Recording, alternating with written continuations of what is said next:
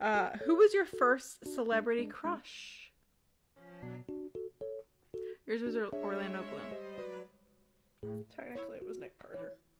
Who? Nick Carter, Backstreet Boys. Oh, Backstreet Boys. But no, I, that was more so like I was like still in a car seat. Like I was so little.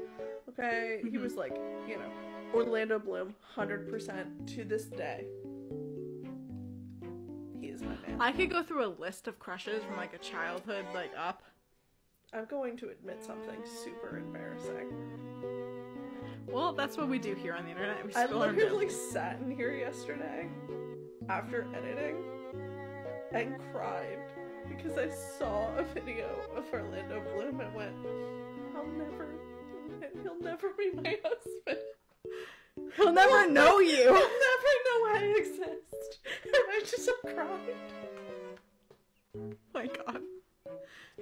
I can start with And then I walked into like, I walked into the bedroom and I sat down on the bed and I just continued to listen to my book.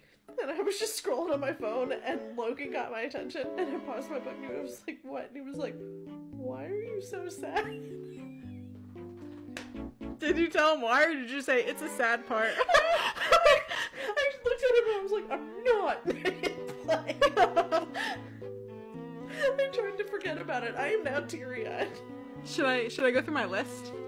please do. I need One- to, I- I, need to recoup. The first here. one you're gonna agree with. My first one ever.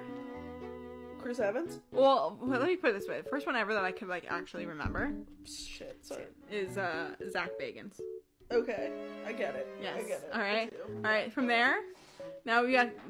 Keep in mind, this was like a long time ago. The fuck? a long time ago. Sorry, I'm crying. Bam Margera, Yo, I, I get it. but like it's like young Bam Mar, like not like Bam literally like Jackass one and two. Yeah, not Bam. Bam now. Margera. Not Bam now. Yeah. Um, and then it was like Chris Evans. And it was like the rest of the Chris's, but I never really got that into the rest of the Chris's. I was never, never really a Chris fan. Um, You found it again?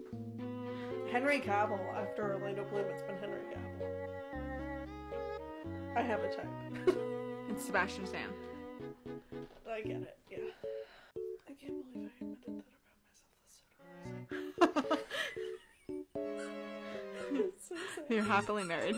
I am You're happily happily married. I am. Yeah, tomorrow's my wedding anniversary. Yes. but Orlando Bloom will never know that I exist. and it makes me so sad.